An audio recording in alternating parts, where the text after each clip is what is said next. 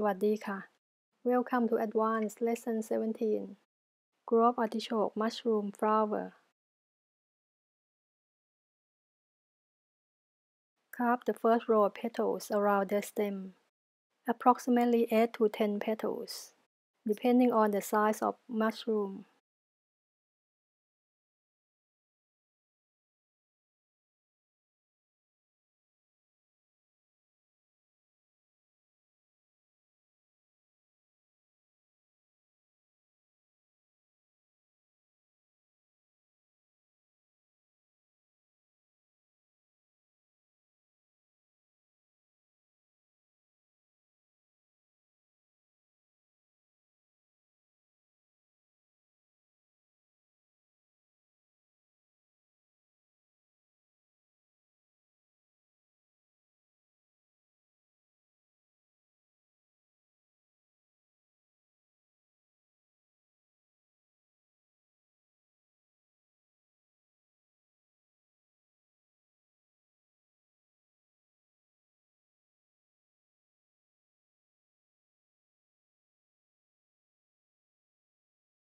Carve the first petal of the second row between two petals of the first row. Then continue carving the same steps until the second row is finished.